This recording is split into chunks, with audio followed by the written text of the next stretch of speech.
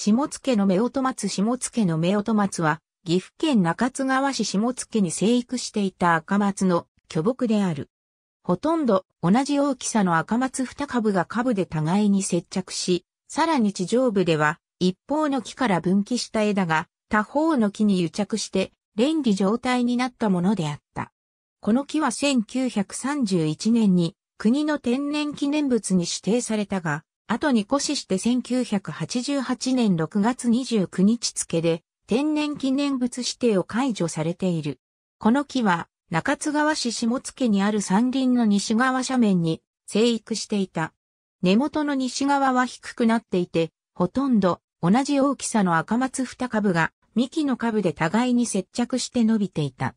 天然記念物、実典108ページによれば、地上部約8.86メートルの高さにおいて、南側の木から発した横絵が北側の木に癒着して小さな橋を架けたような連理状態を示していた。同時点はその連理の部分を遠望すれば H 字状に見えると記述していて、当時の計測値は接着した根元の範囲が約3.80メートル、両株が分岐する地点の範囲が約3.05メートル、南側の木の分岐部間に約2.05メートル、北側の木の分岐部間囲が約1.7メートルであった。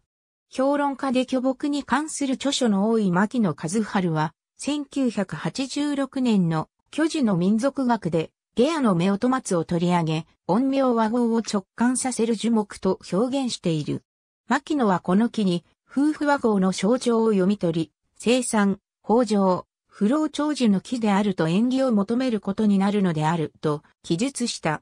牧野は前景書でゲアの夫婦松の他に同じく連理状態の松として知られる高津連理の松などをアイオイの事例として取り上げている。この木は自然性の松における横へ接着の著しい例で学術上有益なものとして1931年7月31日に国の天然記念物に指定された。しかし、1981年頃から片方の株が衰弱し始めたために保護対策を講じていた。後に越しして、1988年6月29日に天然記念物指定解除となった。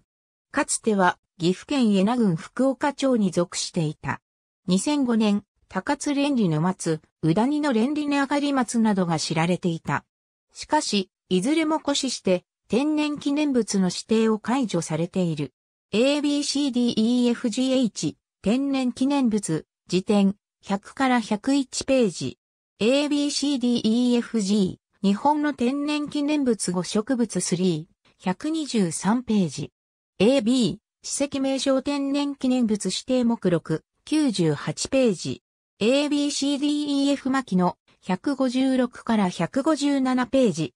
AB、特別天然記念物、天然記念物を指定する件。宝庫。2014年11月3日閲覧。AB 賞は63年6月29日文部省、国時代85号 AB、下付の夫婦松の地図。マピョン、2014年11月3日閲覧。ありがとうございます。